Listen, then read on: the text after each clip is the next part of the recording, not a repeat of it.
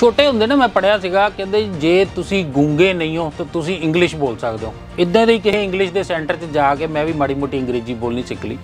ਮੈਂ ਕੱਲ ਸਟਾਫ ਨਾਲ ਬੈਠਾ ਸੀਗਾ ਤੇ ਗੱਲ ਆਈ ਕਿ ਜੇ ਤੁਸੀਂ 30 ਸੈਕਿੰਡ ਲਈ ਇੰਗਲਿਸ਼ ਬੋਲ ਸਕਦੇ ਹੋ, ਤੇ ਤੁਸੀਂ ਯੂ ਐਸ ਏ ਦਾ ਵੀਜ਼ਾ ਲੈ ਸਕਦੇ ਹੋ। ਬਿਲਕੁਲ ਸਹੀ ਸੁਣ ਰਹੇ ਹੋ। ਜੇ ਤੁਸੀਂ 30 ਸੈਕਿੰਡ ਅੰਗਰੇਜ਼ੀ ਬੋਲ ਸਕਦੇ ਹੋ, ਆਪਣੇ ਬਾਰੇ ਦੱਸ ਸਕਦੇ ਹੋ, ਆਪਣੀ ਜੀਵਨੀ ਬਾਰੇ ਦੱਸ ਸਕਦੇ ਹੋ 30 ਸਕਿੰਟ ਤੇ ਤੁਸੀਂ ਅਮਰੀਕਾ ਦਾ ਸਟੂਡੈਂਟ ਵੀਜ਼ਾ ਲੈ ਸਕਦੇ ਹੋ। ਤੁਹਾਡੇ ਕੋਲ ਆਇਲਟਸ ਹੈ ਨਹੀਂ ਹੈ ਤੁਹਾਡੇ ਕੋਲ ਗੈਪ ਹੈ ਗੈਪ ਨਹੀਂ ਹੈ।